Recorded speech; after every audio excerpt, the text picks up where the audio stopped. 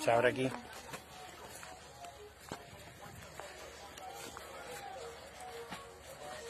Gracias. ¿Tienen bebé? ¿Sí? ¿Podría hablar contigo? ¿Eres el papá? ¿Eres el que lo está criando? A ver, mira, yo soy opositora. Estamos haciendo un trabajo casa a casa para saber las familias que necesitan ayuda.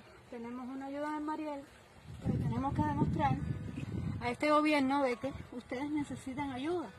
Yo te pregunto, ¿tú necesitas ayuda para tu bebé? ¿Ayuda como qué tipo? alimentos para tu bebé, eh, zapatos para tu bebé. ¿Qué edad tienen tus bebés? Uno tiene cuatro años y el otro tiene un, un año y meses. Y meses. Tú vives en esas condiciones.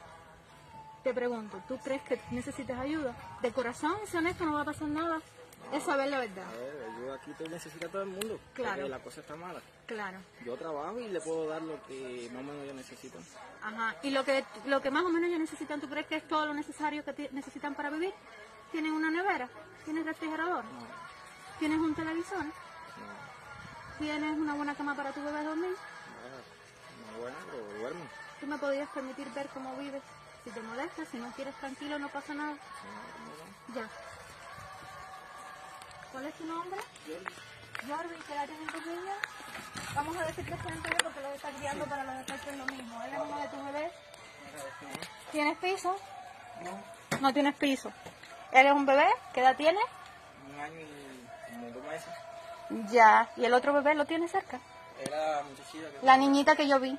Ya. En, eh, ¿El niño dónde duerme? ¿Me muestras? Sí, Permiso.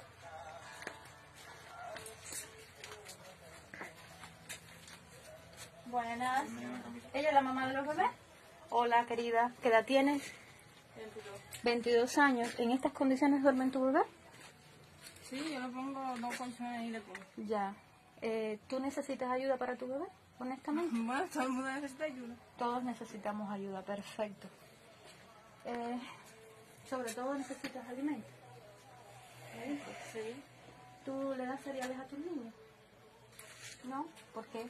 Al niño que le doy leche. En leche. ¿Y te la están dando normalmente sin problema? bodega. ¿Se alcanza, no se corta, todo bien? Bueno, a veces se corta y otras veces no. ¿Y cuando se corta, qué haces? ¿Qué le das a tu bebé? Tengo que comprarle algo para él. Un jugo. Ya, ¿les alcanza el dinero de tu salario para, para más o menos sustentarse? Prácticamente de trabajar. Yo trabajo en el campo, siempre es mediodía. Ajá. Como está la cosa, no es que alcanza mucho, pero... No te alcanza. Si comes no, no puedes vestir y si vistes no comes, exactamente así, ¿verdad? Entonces sí necesitas ayuda. psicológicamente, Y psicológicamente también. Bien. Bueno, Jordi, gracias. Sí. no, gracias. No, tranquilo. Esperemos que